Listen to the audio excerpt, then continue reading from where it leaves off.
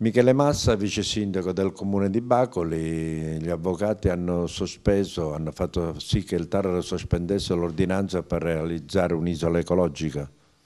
Sì, allora noi da più da quasi quattro anni seguiamo questa situazione per quanto riguarda un'isola ecologica da, da realizzare sul eh, comune di Bacoli. In un primo momento facemmo un progetto eh, nei fondi di Baia perché volevamo realizzare eh, l'isola ecologica nell'ex macello comunale. Là non è stato possibile perché abbiamo avuto il progetto bocciato dalla soprintendenza beni ambientali, quindi abbiamo cambiato il sito. Cambiando il sito l'abbiamo predisposto verso eh, la traversa di eh, via Boccaccio, una delle vecchie traverse di via eh, Lungolago.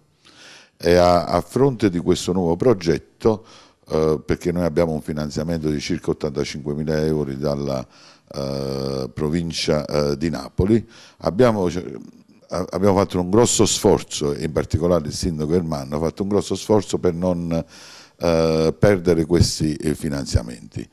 Questo perché? Perché nel momento in cui è partita la raccolta differenziata, per ottimizzare il servizio, ovviamente noi abbiamo bisogno su tutto il territorio di Bacoli di circa tre isole ecologiche disposte in vari punti della città.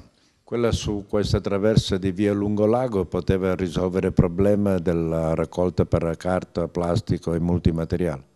Sì, in effetti eh, in effetti eh, rientra in un ragionamento, giustamente, come dicevi tu, perché eh, eh, questa eh, isola ecologica era predisposta per, eh, mettere, eh, per raccogliere vetro, carta, cartone e multimateriale pesante, lattine di, lattine di, di, di acciaio, oh, insomma alluminio, queste cose qua. Però il TAR ha sospeso questa ordinanza che voi avevate già portato avanti? Sì, il TAR su, su, alcune, su una diffida fatta dai cittadini del posto hanno, il TAR, hanno fatto ricorso al TAR e quindi il TAR ha sospeso momentaneamente il, da farsi questa, per la realizzazione di questa uh, isola ecologica e ha fissato l'udienza per il 9 ottobre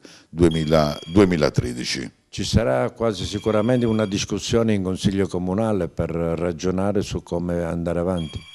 Io penso proprio di sì, perché ovviamente l'opposizione chiederanno uh, di capire eh, cosa sia successo per tutto l'iter burocratico perché noi abbiamo un progetto che è andato anche in appalto è stato assegnato anche, alla, alla, stato assegnato anche l'appalto alla ditta eh, abbiamo fatto un regolare bando di gara eh, c'è una ditta che ha vinto eh, diciamo così, i lavori da realizzare per la realizzazione di quest'isola ecologica al momento è tutto fermo.